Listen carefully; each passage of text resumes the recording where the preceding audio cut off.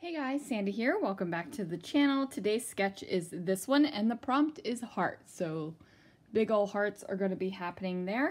I am going to be using the background heart maker stencil from Scrapping Reflections. I thought this was a perfect match. I pulled out this sticker sheet from Close to My Heart and I've got some photos of Snow White and Aurora. So let's see what I can do. All right, guys, now I have taken my background heart maker stencil and it is over top a piece of pattern paper from Close to My Heart. And I am taking, this is basically a Close to My Heart video. I want, I'm not, I'm not a consultant. I'm not anything like that. I just like their products, especially fond of their inks. Um, now, I am using my ink blending brush with the Smoothie ink, um, and I am making sure to get a good deep color through my stencil. Um, and that is because I'm kind of using a like a teal sagey green background and I want you to be able to see the color of the pink um, on top of that. Like I don't want you to get confused. Um, I don't want the, the greenish color and the pink color of the ink to mix together and make their own color. I want to lay enough ink on this that you can see that it is this color. Um, I want two distinctive colors, um, and that is because the sticker sheet that I am using has two distinctive colors on it, and I don't want it to blur. Um, now, this um, stencil is a fun stencil. Uh, you could flip it either way to have your gap um, on the left or the right hand side of your heart. Um, and this one just, it just gives you so many possibilities. Like I could have left my stencil just with the ink and the coloring through it. Um, but spoiler alert, you can see the glitter glaze right there on the right hand side of the screen. So that stuff is going down as well. Now I am using the glitter glaze, um, I can't remember the color name of it. Such a bad glitter glaze lover. I love glitter glaze and I can't remember the color. Um, basic, it's almost like the, it's like the light white slash clear glitter glaze. Frost, I don't want to, I don't remember what it is. Um, and since I do use that uh, over top of the stencil directly now, um, like after I'm finished stenciling, what that's going to do uh, is it's going to mix with the ink that is still sitting on top of the stencil and it's going to turn the glitter glaze a little tinge of pink. Now, as you can see, oh, I just tapped the screen where the glitter glaze was. Um, as you can see, the glitter glaze is almost gone. So I don't mind the fact that the glitter glaze is mixing with the ink color and it's turning it a shade of pink and I'm like dipping my palette knife back into the glitter glaze because I'm going to use it all in this layout. The tub gets thrown away after this layout because there's like it's gone. I've used it. Um, but if this was something that would stress you out, then you need to wipe off your palette knife uh, before you place it back in your glitter jar if you don't want to contaminate. But like I said, I don't mind, um, especially since, you know, I'm, I'm wrapping up the glitter glaze here. So I get the glitter glaze down on the layout and then I am going to go wash off my stencil and my palette knife. But look at that. Ah!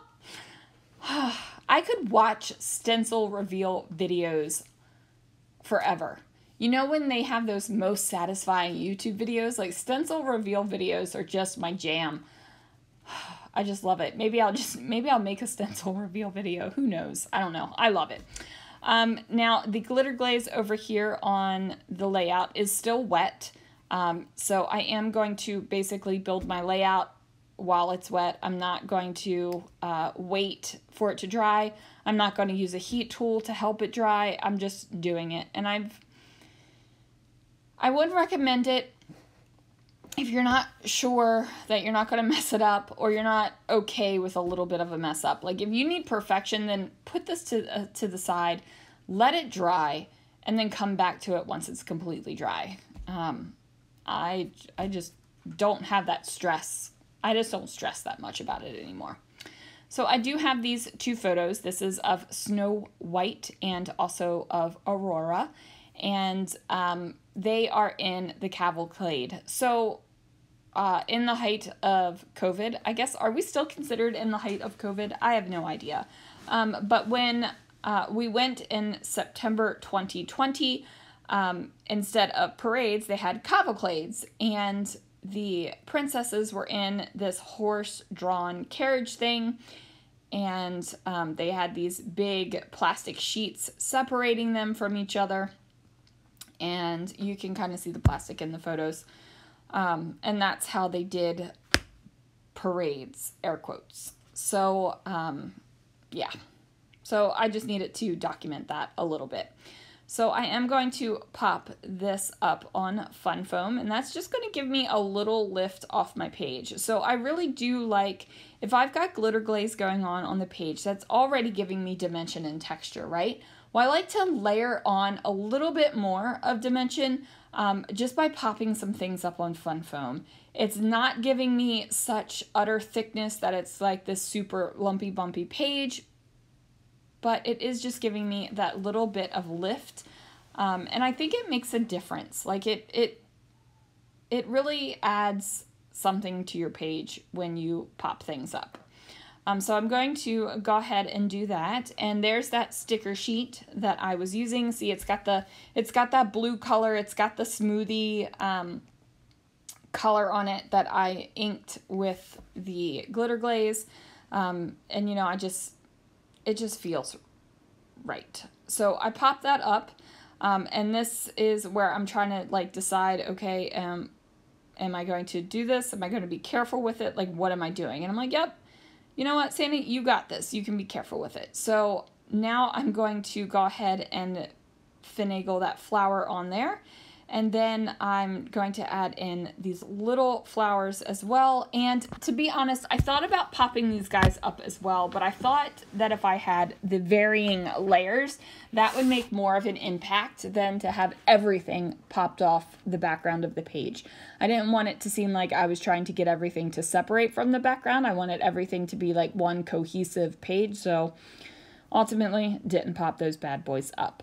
Now, I do use the title that was on this sticker sheet, So Happy Together. Um, and my plan was to grab tile stickers, stickers, not tile stickers, stickers, and spell out even apart.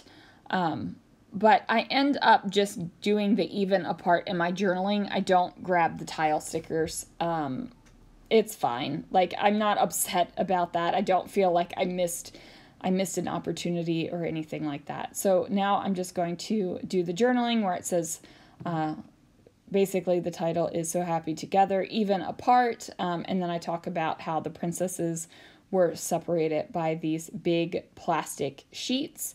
Um, and we still got to, you know, see them and wave at them and all that kind of fun stuff.